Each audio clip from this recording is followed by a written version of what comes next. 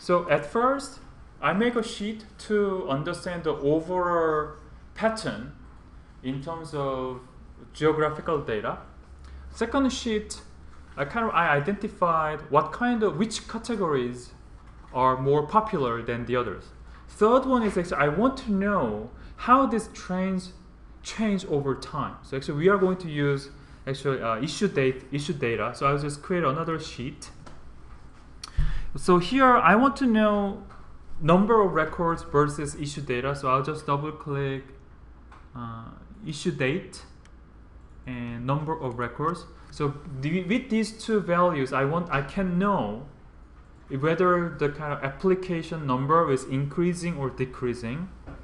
And I just double click over this one. Actually, I will select this uh, line chart. And what this shows is that the numbers are changing from 2010 to 2015. And overall, until 2014, it is increasing, and suddenly 2015, it is decreasing, increasing and decreasing. What's going on here? Why 2015 radically decreased in this data? But if, but if you go to the other type of chart, it has the null category. Is it counting that? Uh, yes, null is still counting because I- if there's data. I think it uh, has the last data punched in for 2014 permits.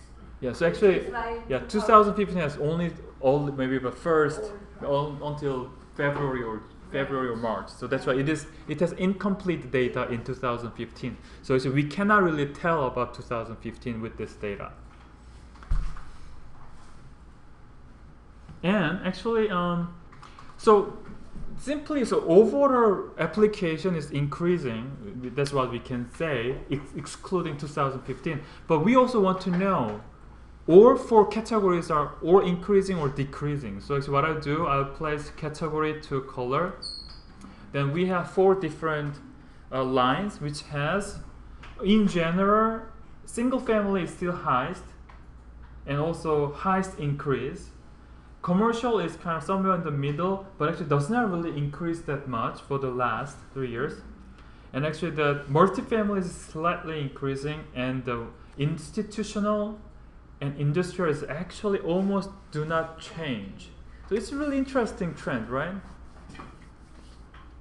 And then this one is actually also a good way, but probably better way is changing automatic to area. What it means is that this area, the the square feet represent the number actually. So you see that not just line, actually this uh, surface is actually the number of application. So actually you can compare these two. And still it's better to sort it, right? So the highest one is actually single family. So I want to move up this one highest. So select category single family. And then if you move it up to above the null, you will see that this one stay highest. And then commercial is the second one. So this one is actually multifamily. This one is third. So actually I move it to after commercial. And then actually I place null in the bottom. And actually the this one institutional is actually after multifamily. So actually solved this way. So now this one shows that uh, single family is the largest one and highest increase versus institutional and industrial is actually there's no changes in trends. So this one I kind of show each cat the trends of each category over time.